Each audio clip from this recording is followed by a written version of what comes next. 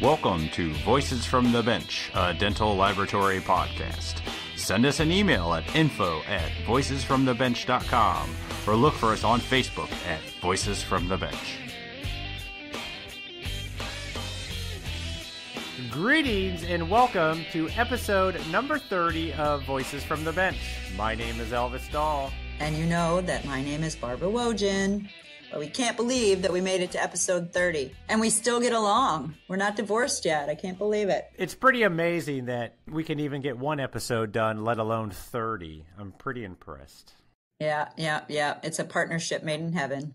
I'm so grateful. So tell me, Barb, do you guys do RPD frameworks at Knight Dental? Um, no. We actually used to have a department, but unfortunately, we're not doing them anymore. So we do do some digital, and the ones that we do Yeah. digital, we work with an outsourced lab here in Florida that does them for us. Why did you guys stop doing it? Was it because the technicians were hard to find or the business wasn't there? Everybody's getting implants? Um, well, we did a lot of lab to lab business, and there's not a lot of margins in lab to lab business because you don't make a whole lot of money on them, and the labor's high. And it was just a, a better business decision to uh, for us to um, close it down. So Yeah.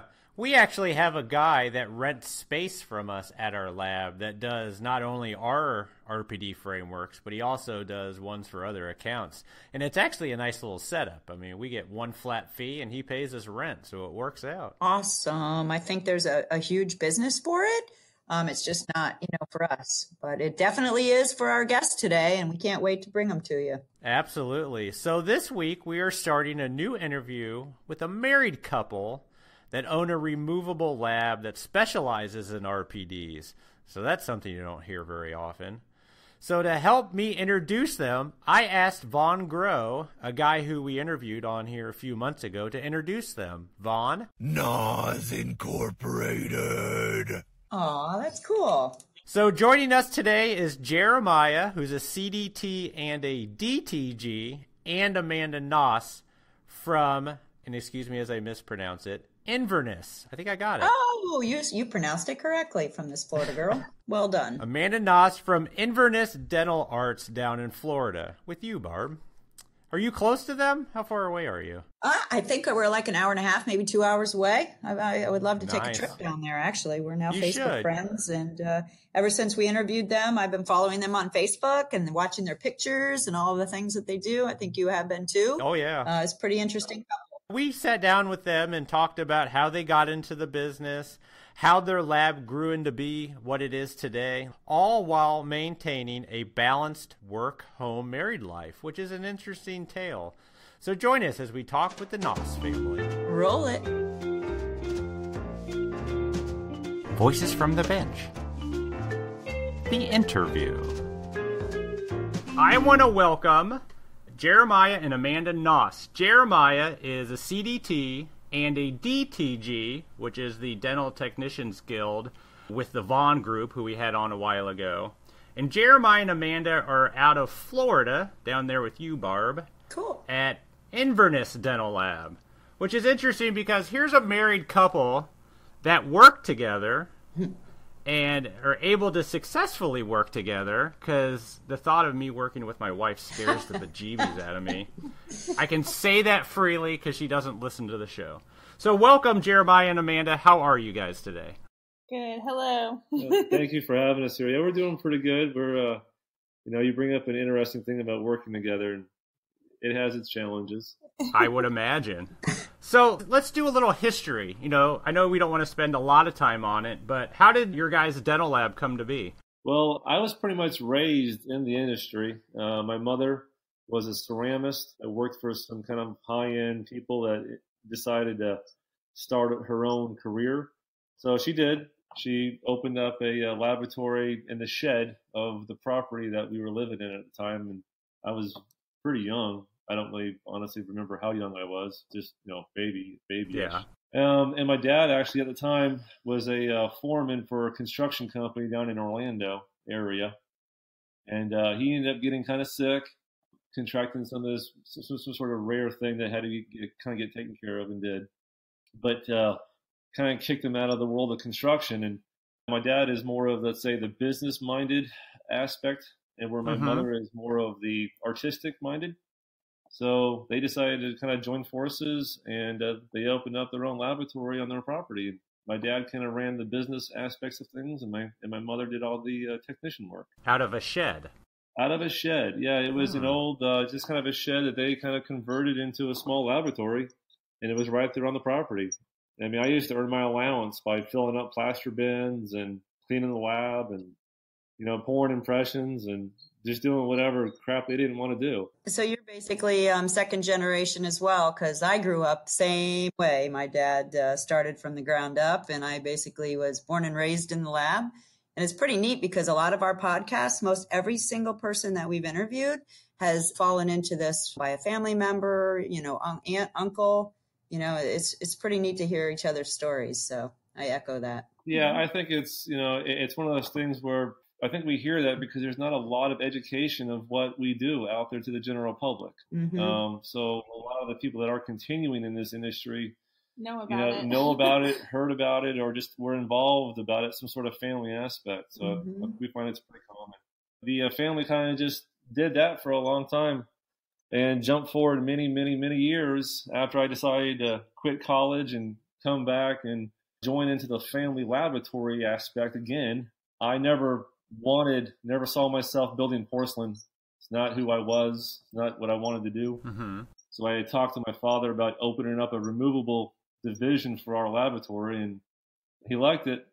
So I quit college and uh, flew up to Rhode Island at the time, or was it Chicago? I think it was Chicago, when Austenal was uh, kind of their own entity, and trained from up there on how to make RPDs. Wow. And that was kind of the that was the start of me going into the laboratory full time. And then, God, 12 years later, however many la- years later, um, me and my wife decided to go ahead and buy the business and make all kinds of changes.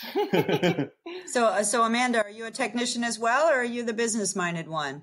I'm the business minded one. I was brought in originally when we had our first son, Jack. His dad kind of wanted to step away and he figured I could take over his responsibilities. So it started off small. I just started with answering phones, doing billing, checking in cases, that kind of stuff. And then quickly within about six months or so, he had pretty much turned over the bills, the payroll, the business side of the business Mm-hmm. and we just kind of went from there. Um, anything that they could teach me in the lab, they did. Um, I did run into issues with my eyesight. I had cataracts Mhm. really bad. Wow. And so what I got taught was a lot of procedural stuff. Here, let me show you how to pour this impression or um, scan this model. And I filled in uh, Mhm. otherwise. Yeah. But I don't really call myself a technician because I kind of um, stayed really in the support aspect of the business. But it sounds like you know enough to be dangerous. Yeah, I know. I was going to say all of us technicians need that business mind. Uh, you know, we're very we're artists, and um, so I'm I'm sure you guys are very successful together with both of those pieces. it takes a balance. It takes me kind of backing off and letting her do what I know that she needs to do, and vice versa for her. So, eh, you know, we do, we've been successful respecting each other's positions and kind of just following suit, you know, just listening to what the other person wants us to do, realizing that they have the knowledge for what they're saying. And, you know, we seem to kind of come together pretty well like that. I would say so. Yeah, respecting each other's strength is important Exactly. and Well, probably I, hard to um, do. Very early on, I realized managing his time was our biggest um, commodity. You know, our biggest uh, Mhm. you know expense was him, and you know, watching him go. What am I supposed to work on next? And realizing all of the time that that took away from him, and so very quickly it became, you know, well, if I can set him up for whatever he needs to work on next, then that's less time he's wasting, you know, trying to figure this situation out.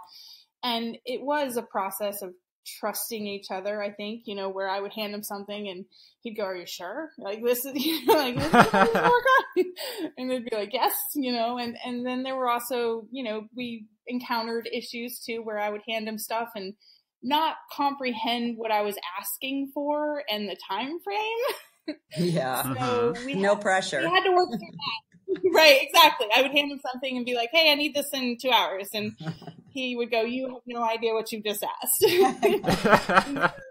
and so yeah i was learning learning that learning the uh, steps of all of the things that needed to be done in removables because um, you know crown and bridge usually gets a little bit more time i think than removable labs as far as turnaround and, in cases and stuff. Absolutely.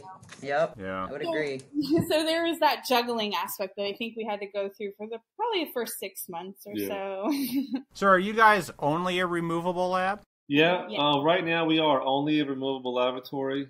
As you kind of probably got from some of the glimpses of what we've said previously already, the laboratory used to be a full service laboratory, Yeah. bridge and removable. And the, the really short of the really long of that one is that I was uh, unhappy as a person and as a technician trying to manage both aspects of the industry. Hmm. Um, especially Mhm. being someone who does not build porcelain and someone that doesn't, you know, hasn't mastered or at least become qualified in the every aspect of the Crown Bridge world to properly manage. It became a, a overwhelmingly stressful situation that we quickly realized it needed to stop. Um, so we actually uh, decided to stop doing Crown Bridge completely and uh, sold everything. I mean, we were you know, CAD CAM, you know, ready. We had 3D printers, we had scanners. Really? Oh yeah, uh, pressing the ovens. We did it all, and uh, we just uh, we decided to get rid of all of it. Sold it for pennies on the dollar, just just to try to just to try to live a different life. So we currently, yes, we only do removables, partials, dentures, you know, hybrids, bars, you know, things like that. We made the decision at Knight Dental to close that part of our laboratory down too. You know, and I know what you're talking about when you say better quality of life because you're basically living enough hours at the laboratory, but it can be so stressful and all of the time constraints that we have and the pressure, pressure, pressure, pressure. I'm sure that that was an excellent decision for you guys. You know, it was a very scary decision. Yeah. very scary. I mean, I could talk about that for quite some time, but it was ultimately a, a change in life that we felt needed to happen, but also needed to take a step back and be sure that it, it financially could happen. And that we weren't really kind of cutting off our nose despite of our face, just trying to make an idea work. Yeah, I imagine shutting down Crown and Bridge or Fixed uh, really put a damper on sales rather quickly. Well, you know, honestly, you know, growing up in the lab, being open and exposed to the billing aspects of all this, mm-hmm. every month, one of the things my father would always do would kind of analyze the sales of the month, and he'd always bring up these charts and graphs. And I used to always see a, a definitive difference between the amount of Crown and Bridge sales and the amount of removable sales, percentage wise, that was going on. Hmm. Sure. And I remember as a kid, if I could hit 15 to 16% of my lab's sales in removables, I felt like I was really doing great. Hmm. And as time went on, all the way up to the point we sold it, or, you know, when we did sell it, it our lab was almost 65 to 70% removable sales Wow. and you know, you know, the rest being Crown and Bridge. We found that removable want was just climbing and climbing and climbing, and we were able to uh, recognize that, I guess, and allow that to be a big uh, influence on supporting our decision to just go removables. Our Crown and Bridge Lab also got hit hard in that 2008 Oh yeah. you know, hit that everybody I think took. And um, rather than growth, which was what the lab had seen for many years prior, we were actually cutting prices to try to even stay in the market. And and I, I know that that's that was a lot of labs during that time. And Sure. so, like Jeremiah said, that flip occurred where all of a sudden the removable work started dominating the sales aspect of the lab.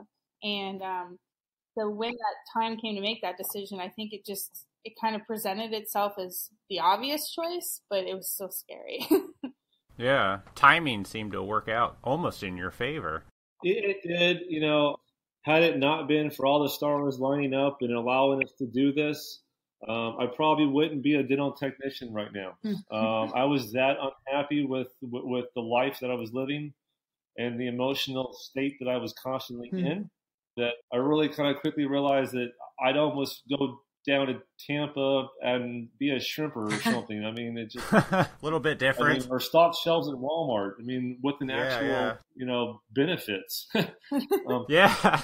so I had to change. It, it, you know, it had to happen. my laboratory, we do some removable, but it's definitely not what we excel at. And the one thing that I know industry wide is the, you know, lack of um, removable technicians and, you know, the lack of training for it. So I'm sure if you just specialize at it, especially in Florida, where there's so many doctors, you guys are probably doing a really, really, really great job. And so many old people. Yeah, pretty much. I mean, You know, you would, you, know, you would think so, but I will say from the years of studying and kind of the demographics of different areas, you know, the southwest part of all the states in the United States really is some of the the lowest charging lab fees out Yeah. there. And Sappy. so we really found that we really able to exceed and start honestly charging what we wanted to charge for our Mhm. products by acquiring out of state work nice. that's been a big, huge influencer for us is just charging what we feel is an appropriate an amount and finding the clientele that's really willing to pay that amount. We aren't cheap by any means. And so because of that, a lot of our local work that is all insurance based mm-hmm. is kind of the doctors aren't willing to kind of pay what it takes to to do what we you know what we want to do. Sure. Yeah. Interesting. So that was the past. Let's look at the present. Where are you guys at now? How many employees do you have, or is it just you two? We have one. You have one. We have one. It's We me. have Yeah, one. W- you know, one guy, me and my wife, and a, a guy named Jonathan. we have two retired um, gentlemen that drive for us. Yeah, We yeah, when we closed the Crown and Bridge lab, we honestly did not need both of them. We had two vehicles and we had two drivers. We used to run a Mhm. you know a morning north route and then a afternoon southern route. And when we uh, shut down that side of the lab, we didn't need them, and we went to them and said, "Hey, you know, we don't want to fire either one of you, but we don't really need both of you. So whichever one of you doesn't want to work, um, you know, just let us know." And they came back and said that they did not want to quit and that they would both continue working Wow. for us. So yeah, it works out nice. They cover each other's vacations. Um, yeah, we're very protective of our little old men drivers that we love. Sure, we all are. They are the face of our company. But other than that, we only have one guy, John, works for us. So yeah. I mean, and for for quite some time after we purchased the laboratory from my parents and made that decision, we worked by ourselves for about six to eight months. And John came about honestly because I got so tired of polishing crap and investing things and spending my time away from setting teeth and designing frameworks that uh, it just became obvious that you know hiring someone was the uh, was the right thing to do. yeah, to keep your sanity. Sure. Yeah, I didn't want to, but we did, and he's been great. Yeah, we all want to do everything, and that's why you become burnout and stressful because you know it's a, we love it and we're so passionate about it, and we want you know we're kind of a little bit controlling, Technicians? but you know, good for you that I- Yeah, yeah, I mean, I mean that's the nice way of saying it. I, I- I'm a little more blunt, where I just I don't like employees. Yeah. You know, I, I have very unrealistic expectations of what an employee should be. Yep. sure. And because I, I mean, I just expect employees to treat my business as I would, and I know that's unrealistic. So it makes my dealing with employees difficult. So this one's been great. We've had some ups and downs, but he really is. We kind of think of him a lot more as uh, just a family member, much more than just an employee. Well, that's nice. And I'm sure he's the employee that you you, know, you were striving to find. That probably really does give two shits about your business. Sorry, I should. We have to eliminate my cussing. An employee that actually cares about your Oh. business and about it as much as you do. So you'll probably keep him for a long, long time. We will, you know, as we'll probably talk further in the uh, podcast. Uh, he has actually made the uh, the verbal agreement at this point to follow our career over to the Oregon area for some of our future adventures. He uh, kind of plans on going with us. Oh my. God, Really? that's awesome! Yeah. Wow. I love it out there. It's amazing. Good for you guys. I would segue into that, but I want to hold off for a little bit. That's yeah. What is Urbanus Dental Lab known for? What do you guys It's- specialize in? Inverness. Say that again. What did I say it wrong? Inverness. Inverness. Where does that come from? It's Scottish, believe it or not. There's a town in um, Scotland that's named Inverness, and Inverness itself was settled by Scottish settlers, so that's why that's where we got our name. Interesting. Yep. Well, I'm sorry I keep butchering it, No, but that's that's what I do on Get the used podcast. to it. Yeah, I do it well. You know, I think if you asked the the majority of people that know us, they would say that we specialize in in RPDs. hmm I, you know, that's happened a lot because I've been asked to do a lot of lecturing lately and a lot of table clinics on the RPD world, which is a whole other conversation about the lack of education in that in, in that part of our industry. But I would like to say that I've, uh, hell, I don't know. I guess I got more confidence in my RPD world than I do anything. But I really love full dentures and really kind of get into the composite work a lot more than other things. But I would say we're more well known for our RPDs than anything. Excellent. Do you make frames? Do you make frames? Yeah, that's what Is we that the question? So Yeah. it seems to be a very uh, a very very big void and that aspect of our industry that I guess we seem to fill to a you know a very small degree. Only we're not we're not producing any type of mass volume of frameworks. So It is a part of our industry that harder and harder to find people to do them. And a lot of labs, even big labs, you hear about them outsourcing their frameworks just because finding someone to do it full time is tough. yeah, you know I'm not sure why there's so few of us doing it that really. You know, if I, if I just want to be honest with my, I guess myself and other people that are doing it, there's no reason for us, RPD people at least, to be fighting for the bottom at all. I mean, we should, uh, we, you know, we're not terribly cheap, and we kind of feel like everyone else is should be raising their prices also. We encourage our local labs close to us to continue to raise their prices Yeah. because if they raise theirs, then that means we can raise ours. It's kind of one of those things like, you know, um, rather than fight for the bottom, why don't we all just improve our quality and get better money all around? There's a lot of truth in that. Yeah, I think you know, I had my eyes opened up to an issue a little while ago, and I'll just try to hit on it really quick about maybe a a strong influence on why RPDs are accepted in a low quality aspect. And that is, we were asked by a local university lab to do their frameworks for them. And come to find out, I think that university was only allowing the laboratory to charge them $75. $75 for that Mm. framework.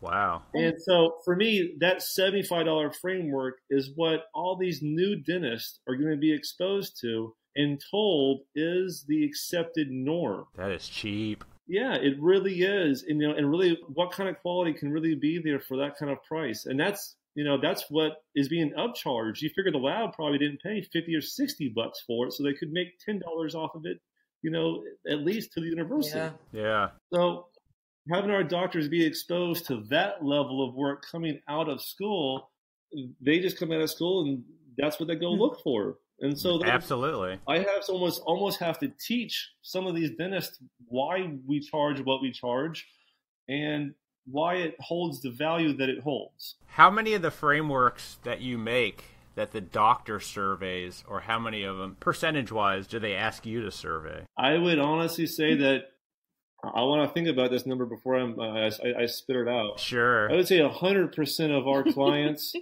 might, well, a- a- a 100% give me full control over the realistic world of designing that frame. Nice. Yeah. They might send me their theory or their proposed idea on a wanted design. But if I survey it out and I tell them that's going to have impinging the tissue or it's going to impinge the cheek, they're always, not always, but they're more than willing to respect my thoughts on that and understand that's worth trying at least. Leave it to the experts. Yep. I just thought since a lab specialized in RPDs, because, you know, we don't specialize in it, but 99% of the time we just get told to make an hmm. upper, and that's it. Yeah, you know, it's a big fight of mine without trying to get into preaching about it too much because I can easily do that. I think the definition of an RPD in our removable world has gotten skewed. And everyone's kind of forgotten what an RPD truly is. And really, we say RPD if we just talk about framework and the word framework and got rid of the removable industry and we talked about frameworks to Crown and Bridge people, they would always tell you that that framework is there to only support and give structure to the end result, which is the porcelain. So for us, um, the RPD is something that is just a support structure for missing teeth, which is the goal.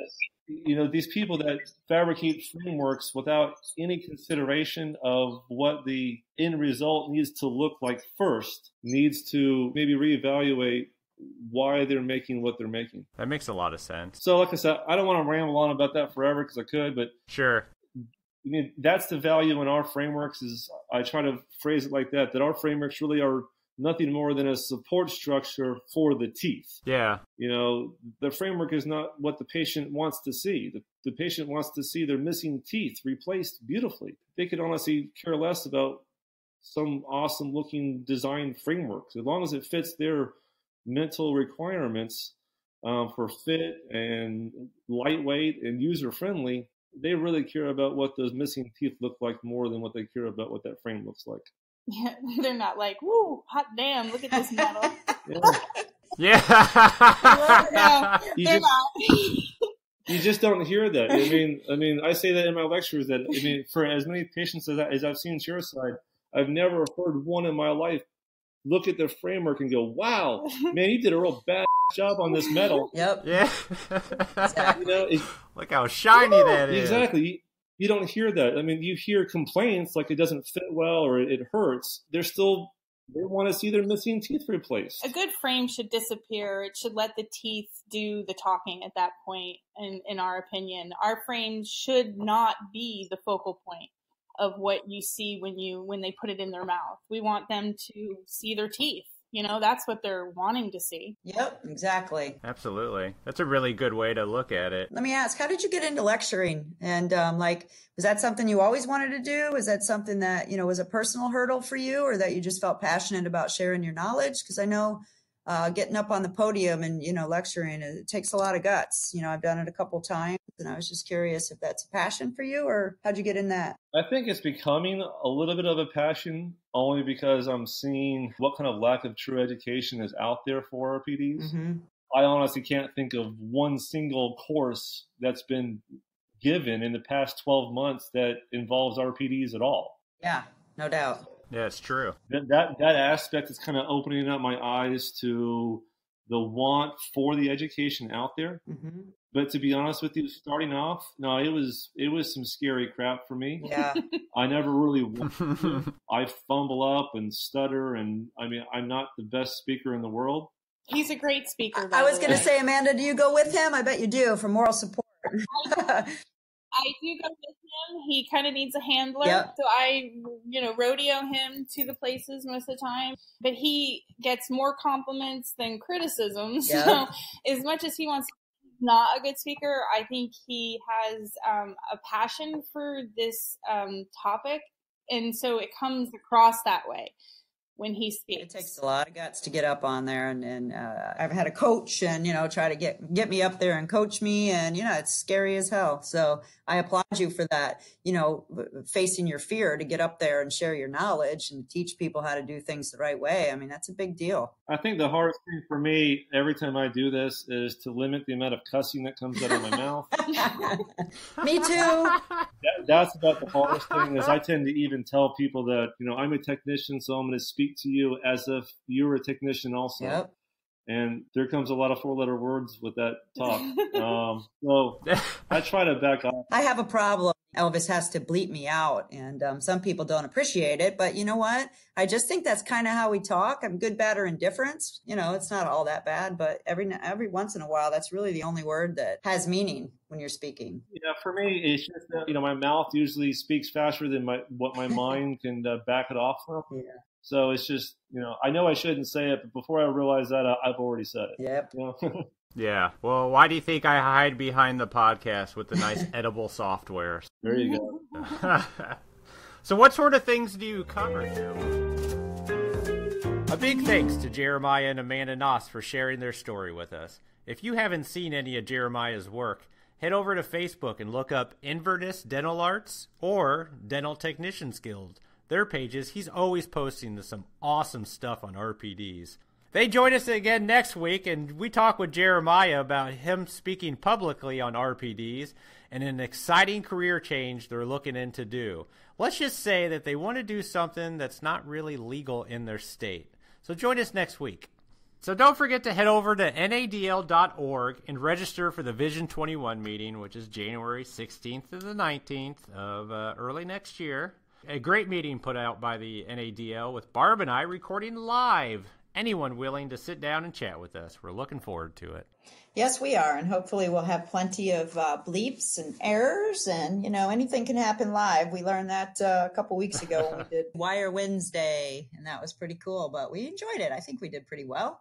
Just kind of go with the flow, which is something we are very good at. Yes, head over to voicesfromthebench.com and check out a link for the NADL and our live interview unplugged at Wire Wednesday. Right.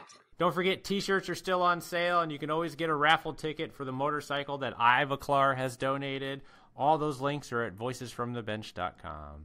Yeah, I saw uh, David Hornbrook put a picture of him on Facebook on top of the bike or riding the bike. I shouldn't say on top of the bike. It sounds kind of sexual, but with him sitting on the bike and they got a ton of likes and a ton of exposure. And I think they had a lot of people that um, bought tickets. So I thought that was really, really a good thing. So thank you, David Hornbrook.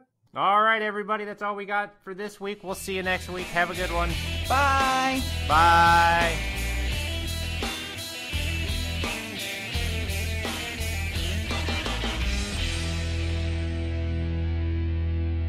publicly. Blah, blah, blah,